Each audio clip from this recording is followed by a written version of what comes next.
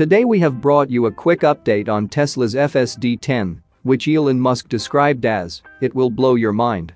Just as promised by CEO Elon Musk, Tesla rolled out FSD Beta 10 to its group of testers as the weekend was starting. Few videos of the advanced driver assist system in action have been shared online so far, though comments from some FSD beta testers have indicated that version 10 does indeed present some notable improvements compared to the outgoing version 9.2. Let's get into all the details. So let's get started.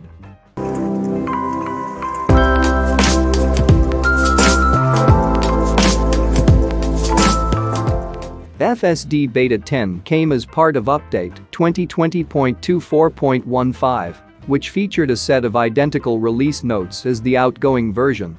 Based on the first clips uploaded of the newly released update, however, it appears that FSD Beta 10 featured some UI changes to start. The driving visualizations have been cleaned up, for one, and the icons on the left side of the display have been rearranged for the Model 3 and Model Y. Performance-wise, a number of FSD beta testers have mentioned that their vehicles now behave like a driver that's more experienced than before. Tesla Raj, whose Model 3 has been in the FSD beta program since October 2020, noted after an initial drive that his vehicle's advanced driver assist system feels better and more solid. Intersections and roundabouts were handled very smoothly as well. That being said, some testers also mentioned that FSD Beta 10's highway performance still felt very similar to Navigate on autopilot. This is not to say that the improvements rolled out to FSD Beta 10 are strictly incremental, of course, as it remains to be seen how the new update performs in more challenging situations. These tests would likely be done and shared in the coming days as FSD beta testers push the newly released iteration of the driver assist system to its limits. Interestingly enough, a number of FSD beta testers have noted that the update is indeed quite mind-blowing in the way that the system is so much smoother and more confident than its already impressive predecessors.